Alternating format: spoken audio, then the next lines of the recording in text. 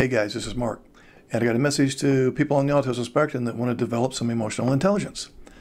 The first step in developing emotional intelligence is to understand what steps are involved.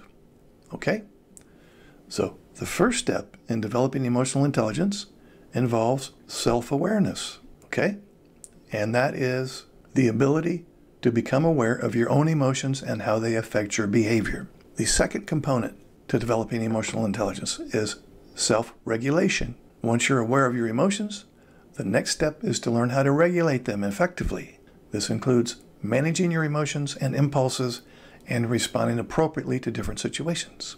Third component to emotional intelligence motivation. Motivation is the driving force behind our actions Developing emotional intelligence involves learning how to motivate yourself and others and how to set and achieve goals. The fourth component to emotional intelligence is empathy. Empathy is the ability to understand and share the feelings of others. Developing empathy involves learning how to listen actively, being able to understand and respond to others' emotions, and being able to build strong relationships.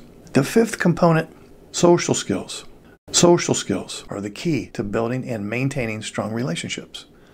Developing social skills involves learning how to communicate effectively, how to resolve conflict, and how to build trust with others. The sixth and final component to emotional intelligence is positive outlook. People with moderate to high emotional intelligence have a positive outlook on life and are able to maintain a sense of optimism even in the face of adversity. So, by focusing on these six areas, you can develop your emotional intelligence and become more effective in both your personal and professional life.